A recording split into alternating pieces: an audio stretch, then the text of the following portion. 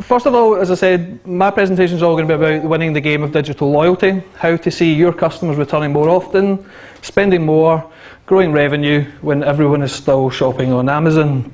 So I want to try and hopefully within this presentation, I've been involved in the loyalty space for probably about 12 years now. Um, so the three things I probably want to try and get across to you are, by the end of this presentation, is educating you a little bit on customer loyalty, why it's important to you. Give you some food for thought in terms of something to take away um, from the end of the presentation. And I'm going to try and do a practical live example at the end on chatbots, so we'll see how that goes.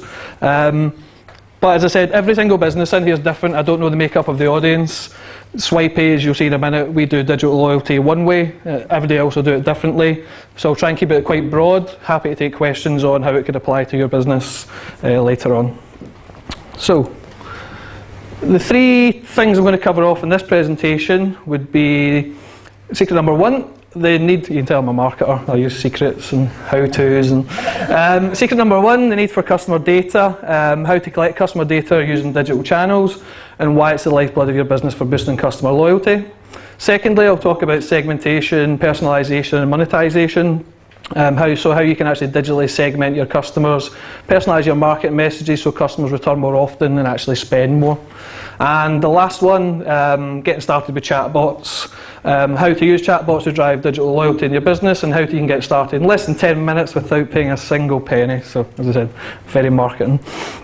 So my background or my epiphany, I suppose if you want to call it in terms of where power of digital loyalty first came in for me was back in 2005. Um, I had a small gent grooming business, um, for anybody who knows Princes Square in Glasgow. It was just in a, like a small kiosk on the first floor. Um, I had that business for five years. During that time, um, me and Tom hung out. No, we didn't. Uh, I was fortunate enough to get nominated for a UK Entrepreneur of the Year award uh, back in 2007. Um, so I won the Scottish uh, heat, but didn't win the overall thing, unfortunately. Um, that was my wee pose for my getting nominated. Um, very staged. Um, but had that business for five years, um, and it was all about kind of trying to the power of that data and, and, the company, sorry, uh, where I was going was in 2010 actually sold the business to Procter & Gamble. But Procter & Gamble bought the company because of the data. Um, by the time I had the business sold in 2010, um, I had about 30,000 email addresses on my list, which, if you think about it, it's a hot buyers list. It was all selling shaving products. So these were people who just wanted to buy shaving. So Procter & Gamble saw real value in that data, and that was why it was very important to them. But in terms of actually how it was kind of worked for me, um, it, back in, I don't know if you remember back in kind of 2007 email, there wasn't very many email platforms, but I had, two, I in the year 2007 I actually had about 3,000, 4,000 emails by this point. And I actually sent an email, I was wanting to send an email to these people to actually get them to come back into the shop. I had 3,000 email addresses. But the till system I was using in the shop, which I can't show you the picture because I can't go back in the mouse, um, captured him. Uh, I don't actually can't even see the till system. Um, it was a very advanced till system. I still remember this day spending about six thousand pounds on this till system um, because it would capture data and I could send email campaigns from it. The one problem the, the, supplier didn't tell me, however, was that the emails that we get sent from them were horrendous. They looked terrible. Um, so I had 3,000 3, emails, and I was like, well, how am I going to send this campaign out? I had the Brightspark idea one night, though, that, well, I can't export the emails. It was one of these systems they didn't tell me in those days that you couldn't export the emails. You had to send the emails within the system. So instead, what I did was I, it was meant to be, I thought it would take a couple of hours. I literally one by one cut and pasted every single email from my database into, at that time it was ntlworld.com, which was Virgin Media, I think, eventually. Um, and I sent out an email. I found a, I found a designer who designed a basic email, pasted it into ntlworld.com and sent out these kind of, I think it was three or four, uh, maybe up to 5,000 emails. Literally, when I woke up the next morning, it was still sending. It was that slow, sending from ntlworld.com. Very, very slow. Um, but in terms of power of loyalty, why I'm talking about that is because the offer was something like, it was segmented to people who hadn't bought, I think, in the last 30 days. So there was, there was an offer where they would spend £30, come back in and they'll get 10% off. Now, the big thing for me was over the next couple of weeks when the offer was live, that's when I started to see a flood of people coming back in again. As again, those days they were all literally walking in with printouts because it was just the only way I asked them to redeem the offer. There was no digital aspect there, no smartphones. It was you had to bring, they had to literally print out the thing and bring it in and show me, so they would segment the offer. But for me, that's the big thing in terms of the power of data, and that's kind of how, whenever my business wanted to get a boost in traffic, clear stock out, increase revenue, I would literally, I wouldn't cut and paste 3,000 odd emails again. I kept that as a saved audience and just added to it. Um, but we would just send out offers continually once every month, and we would see a great return on that. And that's, again, in that time, that was how we seen the power of data, and it worked very well for us. And as I said, back in 2010 we sold the business and that data was very valuable for Procter & Gamble. Um, I've just realised I had a funny gif as well. Disaster. Um, that was me sending emails out literally to everyone in the audience. so, yeah, uh, trust me, there's a few more gifs to come. Um, so, bringing me back to where I am just now. So, I'm head of marketing for Swipii. I don't know if the audience, it's a Glasgow company, so does anybody know Swipii? Head up. That's good. That's not bad. Um, so Swipii is a, it's a digital loyalty and marketing platform specifically aimed for small brick and mortar shops. Um, what I mean by that is your coffee shops, juice bars, teas, hairdressers, barbers, beauty salons. It's in some of the schools as well. Um, the business is going great. I mean, it's a simple product. I don't know if you've, if you've used it, obviously. It's a very, very simple product. Is that my computer dinging off? Uh, it's a very, very simple product. And uh, if you've never used it before, there's some cards here.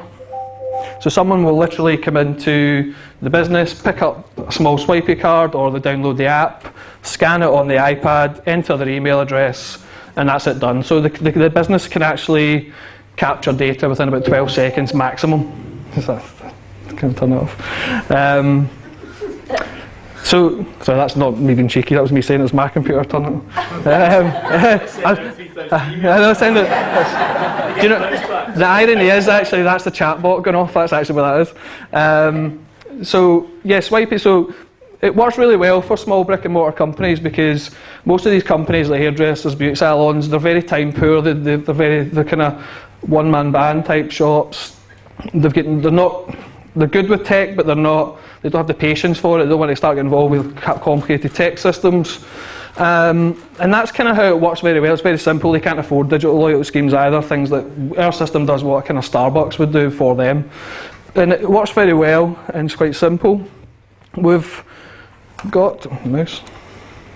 We get our we um, kind of what Joanna said in terms of kind of user generated content we always ask them to take because the small the small community or the kind of local community do like to we try and our kind of message at Swipii is kind of try and beat the beat, we'll give you the power of a Starbucks but for a small price type thing. Where so we try and make sure businesses are seeing this long live local type message and it builds a community.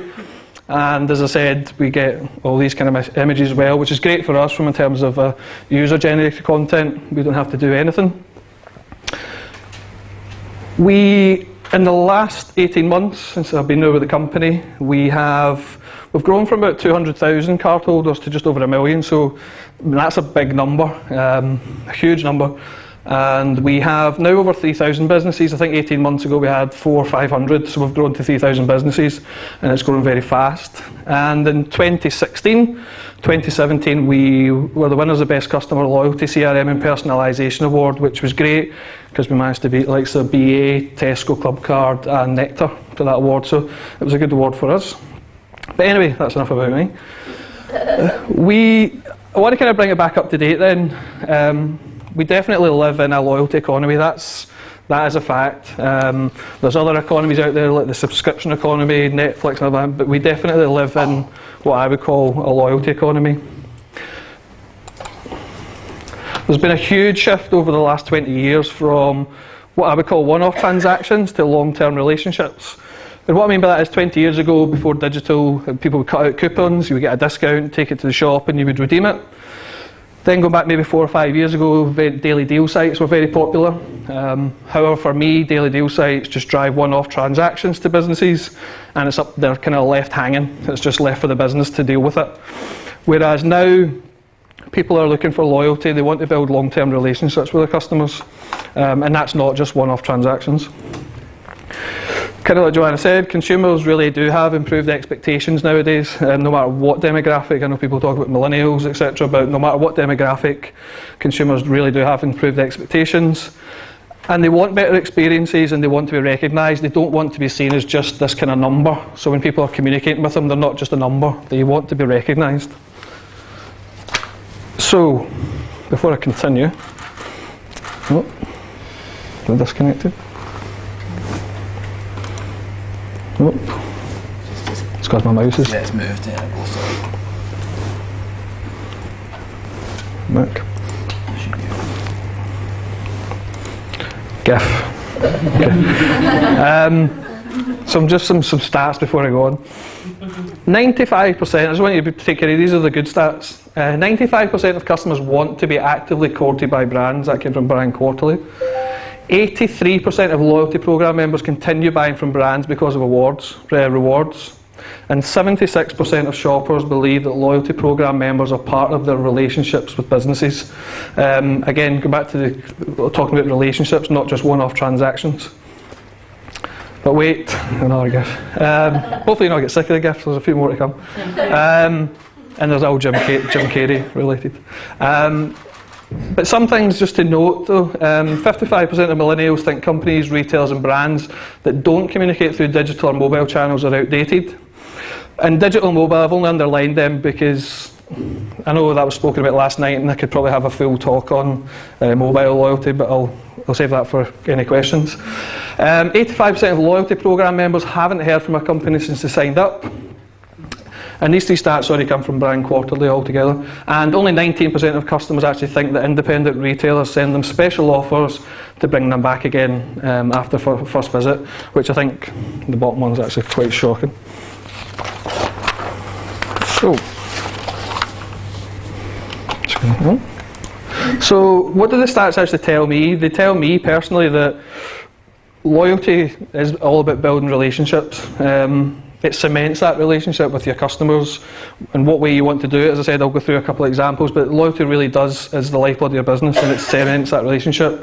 There's so many stats bandied about, but the main one I'd, I'd take note here is that 80% of most companies' revenue does genuinely come from 20% of their customers. That I know you hear that a lot, the 80-20, but that is actually a fact. So, moving on quickly, I'm going to, the first one's quite a quick one, the need for customer data, how to collect customer data using digital channels and why it's the lifeblood of your business for boosting customer loyalty. Ultimately, I'm good with these. Ultimately, um, if you don't capture customer data, there is actually no loyalty. That that's the period. There is nothing. Um, it all starts with data collection. It has to start with data collection, and it's the heart of any successful loyalty program. Um, I don't I always this to the companies we're dealing with. What's your the, the salespeople in our Swipii office will say, "What's your plan to reach customers once they walk out the door?" And the bottom line is actually 50%. This is online and offline. 50% of customers who shop with your business, and I mean when I say shop, they actually buy something, uh, will never return again. Again, that to me I always say to the companies, every time you don't capture data and someone's walking out the door, just picture pound signs above their heads so you're not capturing data. That's actually lost revenue, and that's the way we try and kind of get it across to them. Because um, they think, a lot of the companies we speak to will tell us they think their customers are loyal. Oh, we know Sally, she come back again, but what happened to John and Billy? They just remember the ones that actually do come back. They actually forget about the, all the other ones, conveniently. But the main way to capture data, there is no I said secrets earlier on, it's not really a secret, but incentivising, you have to, you actually have to incentivise people to buy. Customers nowadays are actually very smart, as I'm sure you all are, but they want something in exchange for the email. They're not just going to give you their email address or their phone number unless they're getting something actually in return for that. And we always try and tell the companies don't think of the, the first transaction, actually think of lifetime value. So you can walk into a lot of coffee shops who do it well, and they will talk about, we'll give you a free coffee if you download our app or if you sign up to our thing, which to me is ideal, and that's the way it should be. But people are always scared, oh, I don't want to give away a coffee, or I'm only going to give away 5% off. But they need to give, they need to think bigger than that if they actually want to get the customer's data. It's very, especially in an offline world. Online, giving email addresses is quite straightforward. But in an offline world, you really do need to incentivise. Ultimately, as I said, we said to some of the beauty salons we deal with that they are, apart from that customer one-to-one relationship, is a bit of a commodity. Their beauty salon, people will get emails in from Groupon or daily deal sites, and they will switch, and that's a risk, in my opinion, to the business. Here's some of the ones that you've probably seen before in terms of who who have done loyalty for a long term, a long term now, sorry. Um, and the reason they do it is purely because they understand the value of their customers' data. Um, as you'll see in a minute, with actually having that data, they can do so much more in terms of um, in data, insights, and actually do lots of segmentation, which I'm going to talk about in a second. Just to round off the first section then, in an offline world, it really just comes down to staff. We talk about the staff, staff training, making sure when every time a customer comes in, they're actually saying there's some kind of offer in terms of value to get their email address, not just do you want to, do you want to just. We see it sometimes when we do our own test that people just go, do you want to sign up to Swipii? Why? It needs some kind of value and you need to have them trained up to do that. In an online world, capturing data is pretty straightforward. Um, I'll show you this one later on, but this is just like using um, chatbot technology to capture data. Um, we've got website bots, I'll show you them all in a minute. Um, there's lots of different ways to do it. I mean, MailChimp, I love that for capturing data. And the one in the middle, just to clarify, a lot of this data and segmentation has to happen through using a CRM, a customer relationship management tool. HubSpot's free, so you can get a free CRM, capture data, store data, tag data, do everything you want with it. And kind of Joanna said it as well, and I did say Gary would talk about GDPR, but this presentation would, would last an eternity. Um, I've spent a lot of money, unfortunately, Swipii on solicitors dealing with this, um, capturing data. I thought just because Mark Zuckerberg was in the news the last couple of days, this would make the point quite clear. Um, they are clearly saying if we can't protect you, we don't, we don't deserve to, uh, we don't deserve to serve you. Um, GDPR, as Joanna said, is the General Data Protection Regulation Act. I think it's May the 25th. I think it kicks in. Don't ignore it. Um, if you are collecting data on your site or in the shop, at Swipii, for example, we have three. Uh, now, when someone wants to give us an email address, we need to capture three tick boxes. One for user T's and C's, a privacy policy, and we now need to get their consent to marketing. And if we want to email them, SMS them, push notifications, we need to get a tick box for each.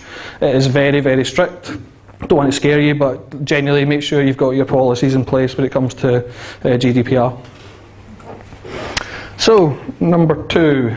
Um, so hopefully I've looked at data collection. Data collection is pretty straightforward, um, hopefully for most companies, and you can understand why having that data is important. However, monetizing the data, this is probably the more interesting part, the sexy part.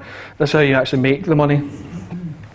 Um, one message just to get over my point about segmentation and personalisation. I don't want, to, use the word shit, but I'm going to say it. Um, a shit hot message or offer to the wrong audience will get a poor response. That's just the bottom line. However, a, a shit hot message, even a crap message, um, an offer to the right audience will get you excellent response rates. And You'll see that as I go through, the, just from a theme. It's very, very important you do have the segmentation right. Segmentation, just to keep it very simple, just to state the, state the obvious, is just involving splitting your customers into different groups. And going back to my HubSpot example, CRMs will and should be able to tag customers based on their behaviour or what they've done. So, for example, you should be able to, if you want to go as advanced this, capture things like age, the sex, recency, recency of purchase, when did they last buy, uh, what pro and things like products, so what products actually have they bought. And you should be able to then take that data and actually segment it. MailChimp, as I said, is a great tool. You can actually watch a couple of their own videos where they actually talk about it, uh, how they can help you capture data and segment it and use it. They've got lots of good case studies. Just because I'm moving this mouse a bit. If you've ever been, I don't know if any of you use MailChimp, but actually if you get into MailChimp or any good CRM system, It'll let you, for example, segment people. You see pre-built over there, for example, new subscribers, active subscribers, inactive, age, female, or you can create your own at the top. So you can actually do anything. Well, when someone segments your data, you can do a lot of different things with it. And ultimately, before I get into personalisation, this is why segmentation, there's no point in sending a personalised message if the segment's wrong, it'll just go completely wrong. So, personalisation. Um, personalisation is just so important. It actually takes the data and the insights that you've actually captured and actually uses them now correctly. Now, personalisation, this is a bit of a cheesy one actually, I was going to delete this slide, but um, let's go on again. So, technically, personalisation, if you read any decent definition, um, actually is meant to just move you away from pain, but actually to pleasure. Okay, it's meant to make you smile. Personalisation. So when you get something in the mail, or you get something online, or you log into Netflix, it should actually make you smile, feel important, and actually valued. It shouldn't just be just random. And it's actually pretty straightforward to do personalisation. Well, it's, it's easier to do personalisation than change this. That's how you do it. You know I'm joking. Um, Personalisation is pretty straightforward to do, as I'll show you in a second, and I'll, I will, because I don't know your makeup of the audience, show you some brand, bigger brands, examples of how to do that. But these are just cheesy examples of where personalisation can go right. It, you might think, why is this a bad example? But actually, I don't know if anybody's done the theme rides where you come off the ride at the end and you're all happy and you, you buy the product it's hard not to pay for it. I mean, it does make you smile. It's a personalisation of your memory, and it's something. I mean, my kids would make me feel guilty, but I don't know about you. But that's a, a very hard thing not to buy. There is, however, some bad examples of where personalisation has gone wrong. I don't know if you've heard of this one uh, from Target before. Um, it's from 2012, I think. How Target figured out a teen girl was pregnant before her father did. Um, quite simply, the teen, cutting a long story short, the teenager was buying products in Target which is just a big supermarket type chain. Um, she was buying baby related items, and based off that data, she was clearly getting messages, um, email, uh, postal offer sent to her to buy cribs, um, nappies, and all sorts of things. And unfortunately, her dad saw this, um, and the dad's was first of all irate with Target. um, he, he's clearly on the phone or whatever he was doing in 2012, saying, Why are you sending my high school teenage daughter messages on uh, cribs and all sorts. But it turned out actually she was pregnant, so Target, as the headline said there, found out she was pregnant before um, he did um, because they were tracking her buying behaviour and they segmented her and they personalised it. So it's just a quick example how where, where things actually can go wrong. A couple of other favourites, and I'm being sarcastic when it comes to personalisation is Living Social, um, or Groupon, sorry if I'm down here works with Groupon, or Living Social. Um, I mean, for me, these ads are horrendous, these emails are horrendous in terms of personalisation. Apart from saying my name and saying deals for Robert, I've got no interest whatsoever. I will not scroll through any of them, and I will just blatantly ignore them. Um, they've not segmented me, they've got no, I've not bought any of these items, I've got no interest in them whatsoever. And there's Jim Carrey again. That's that is literally me. Well, actually, just archived Um, so, who's getting personalisation right uh, and loyalty right in the digital age? And how can you try? I'm going to try and give you some examples so you can translate it into your business, or just even give you some food for thought. Take Starbucks for example. Um, they can have this order ahead facility where, come back to making you smile and make, solving a problem. The person they make the experience, you can actually open the app, order your coffee. I don't know if anybody uses it, but you can order it and literally go and collect it. There's no queue, no hassle. I'm very happy. I've walked in, I beat the queue, and I walk out happy. They personalise the cup, they're shouting your name. And the whole thing for me is all about, but they build the brand loyalty, they make the experience great. And I know Joanna talked about customer experiences earlier, and it's just a great customer experience for me. Um, another one. Netflix. Um, everything with Netflix is personalised, so the emails that you actually get are personalised to you based on your behaviour, they're not just random. Um, the app notifications, if you've got the app, will actually notify you, are all, all unique to your business. Once you log into Netflix, everything is personalised, so whatever the heading, usually now there's like a big header graphic, that's based on your, your viewing behaviour, and even the rows are sorted based on what your past actions are. ASOS are actually pre-segmenting you. They actually want you to segment yourself. So you'll see at the bottom there, like discounts and sales, new stuff, your exclusives. You can actually opt in or out, and that's a great way just to keep you right. Other brands that are doing it well, clearly I'm putting Swipii up there. I'll show you how we do it in a second. Um, but Tesco Clubcard have been doing this for years, a bit like Target, so I'm sure there's a few mistakes. But Tesco Clubcard are doing this very, very well. Boots Advantage card, they've got the apps, they've got points. Um, you can re- preload um, points onto your app, walk in, and you just spend with your card, and it automatically gives you the offer. Uh, Amazon Prime, I'm going to talk about them in a second in terms of community. Um, so at Swipii, we're not going to win any design awards, so I'm just going to show you actually you can do this quite, quite simply.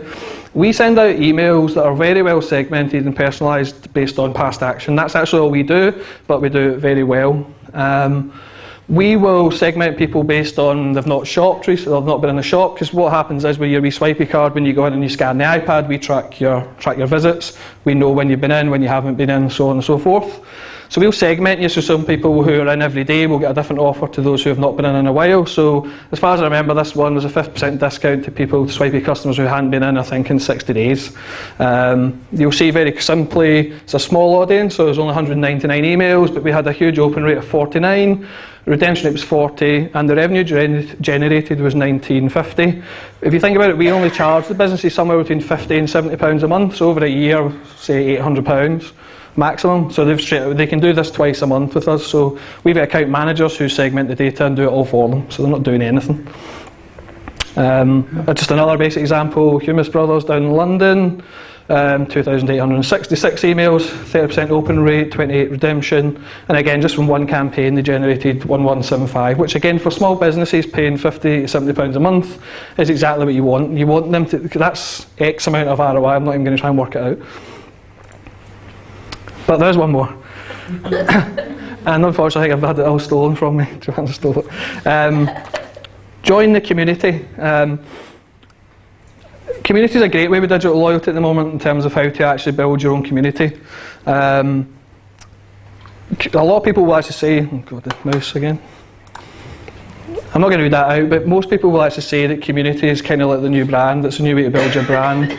having face, having your, having like your own Facebook group and there's so many things you can do with a Facebook group um, in terms of building the loyalty. Um, it's free, which is a great start. Um, but what we've done, we've got one at Swipii, where we don't call it the Swipii Facebook group, it's actually called the Loyalty Economy Group. And what we do is we invite our own customers into it, but we also invite prospects into it in a different mix, and they kind of run the group themselves. We obviously chime in from time to time. And that kind of works really well for us. They become their own advocates themselves, their own customers. They'll talk about the examples you saw in the emails there. They will actually tell all the good news about Swipii. So they're using that community in the right way. We're there just to police it, just to make sure nobody's uh, doing anything naughty. And kind of, it's almost like going back to you guys, the saying, kind of, what's your unique experience? How can you build brand loyalty using all these kind of different um, different channels? So the bit which could go badly wrong, if I've got time. I want to quite, just quickly show you um, chatbots, how actually you can get started with these very, very quickly, um, and it doesn't cost a penny. There literally is bots everywhere. Um, most companies now are investing in messenger bots or bots that can automate things. Just one note though, it doesn't replace humans. It's just a way of filtering out people. Um, it's a way of getting to the kind of crux of the matter very quickly, and then a lot of people will jump into the conversation. That's the case with Swipii. We just use them to filter traffic out, so we end up spending our time wisely speaking to the people who we want to be speaking to. At, Swipe, at Swipii, we've got a website bot. Uh, we've got a messenger bot, and they work really well for us. We want to generate leads. They work really, really well.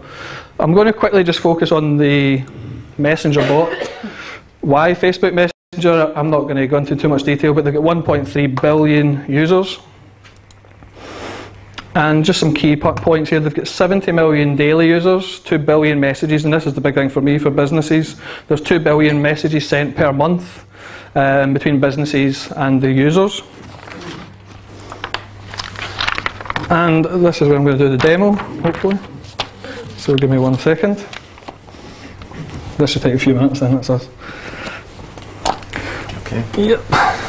So, so we use a, don't this is a test page, as you probably see, there's no graphic on there as a header, so it's, quite, it's a bit of a test page.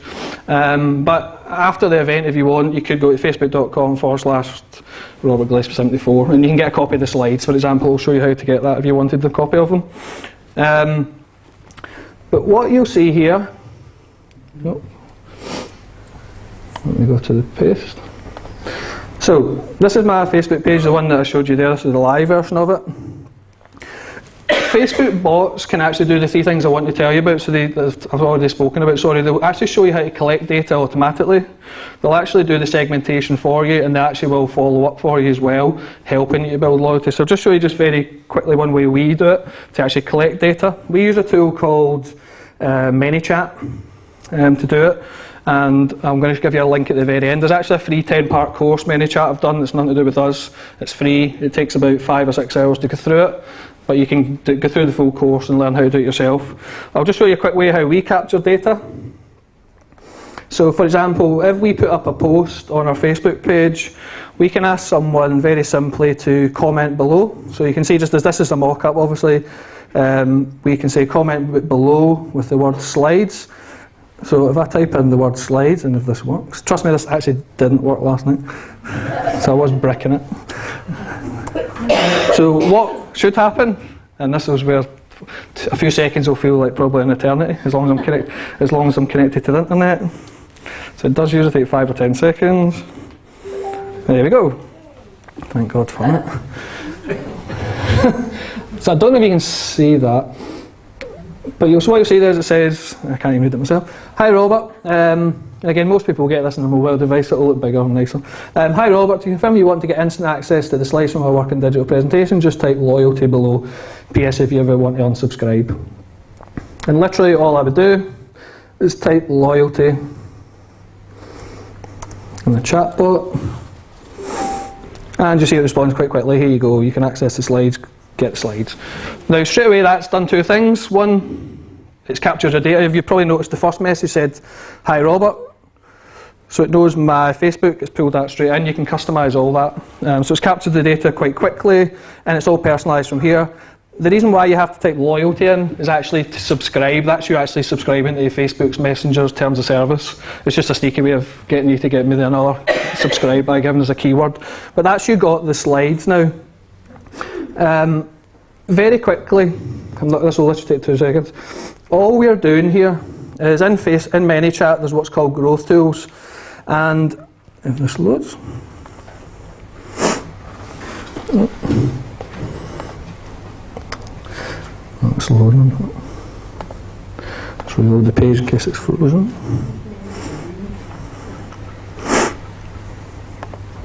Oh, sorry, I'm pressing the wrong button. Oh, now, I'm glad that did that. You notice that this message has just appeared. I've set this up because what you can do is automate a lot of this. So actually I set a, a, message to send to me one minute after I subscribed, and it's just an example. You can tailor that to whatever you want. But this one just says, "Hey Robert, just showing the power of automated loyalty. How could you use this feature?" So it's just asking you how could you use that feature, whether it's sharing blog content, asking people to subscribe to offers. There's numerous ways that you can actually do that, and I'm just going to quickly show you how it's done very quickly. Don't ever be scared about getting this set up. You literally will go into a settings page get a tiny wee bit of code and you'll install it on your website. If you don't know how to do it, go to a place called fiverr.com. I don't know if you've been there before. F-I-V-E-R-R.com. You can get tasks done for $5 and someone will do that for you. Very, very simple. You would go, to, and I'm just going to quickly show you, if you go to a new growth tool, what this does is it shows you all the different ways that Facebook Messenger can capture data for you. So pop-ups, landing pages, you name it, it does a whole raft of different things. And the last couple of things, And as you'll see here, the way I set up that example for you guys was this post, and literally all we did was what keywords would actually trigger and within the post, and what messages we get afterwards, and that is it. And then when someone puts the keyword in loyalty, you can see keywords here. You can just set up any keyword you want and what messages. So when someone types in message loyalty, they'll get this message here as you saw a minute ago. And the very last thing, when someone does type in the keyword loyalty, we've got two actions set up. So you can see add tag, slides requested. So now I know that they've add, they've done something. So in the future I can send personalised messages based on that tag. So if someone puts in loyalty or whatever you want it to be, you can tag them automatically and then you can, you can do whatever you want with them. With Swipii, for example, we've got a tag that says they're a brick and mortar shop because we do identify them at some point. We ask them if they're a card holder and if there's someone who's not using Swipii but are a brick and mortar, and we can then personalise the messages depending on that. And that's it, and you can probably see subscribe to Squeak Sequence, working digital test sequence. That just means that after one minute of doing the first step, you saw that second message through through one minute later on. Um, that is it. That's for me.